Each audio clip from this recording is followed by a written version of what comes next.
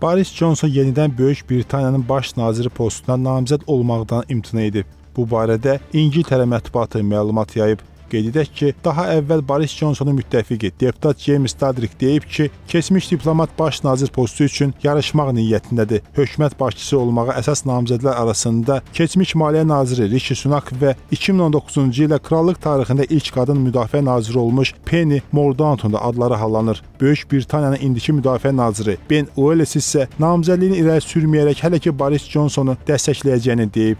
Qeyd edək ki, Böyük Britaniyanın baş naziri Liz Truss oktyabrın 20-sində iqtisadi proqramını həyata keçirə bilmədiyi üçün istefa verib.